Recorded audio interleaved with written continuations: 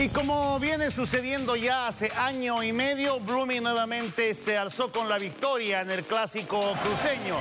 El marco de gente que siempre le da brillo a este partido, que encontraba dos equipos en la mitad de la tabla, intentando avanzar en busca de al menos una clasificación a un torneo internacional.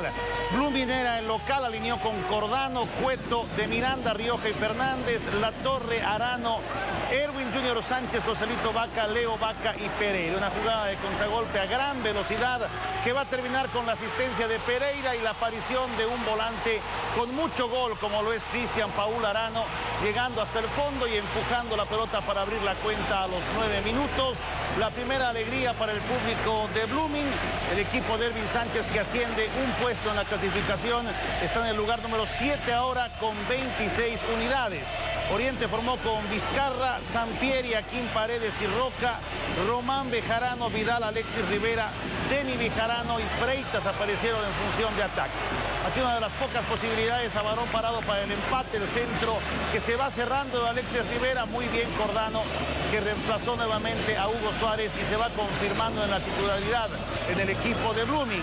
Otra intervención aquí de Cordano que no puede llegar a la pelota, pero la jugada queda adelantada por la posición de adelanto de Paredes, que luego llega a rozar al defensa de Blooming. Es clara la posición de adelanto del defensor paraguayo que regresaba, al igual que varios jugadores de Oriente, tras suspensiones. Ahí el pisotón es evidente, el árbitro del partido no sancionó esa acción, el partido se detuvo por un momento y siguió en la insistencia en busca del tanto del empate del elenco de Oriente, que bajó un puesto en la clasificación del puesto 8 al lugar 9. Con 24 puntos van tres derrotas de manera consecutiva. Ronaldo Sánchez volvió a la acción en la jornada de ayer. También Diego Velázquez y Alberto Pinto fueron los cambios en el equipo de Roma Larana.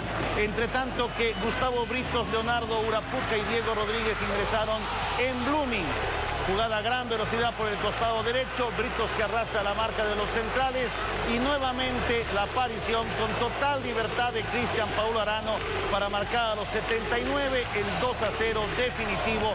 Lleva siete goles en el torneo Arano, es el goleador de Blooming junto con Gustavo Britos. Se fue a hacer clásico con una victoria más para el equipo Alvive, para el equipo de Blooming.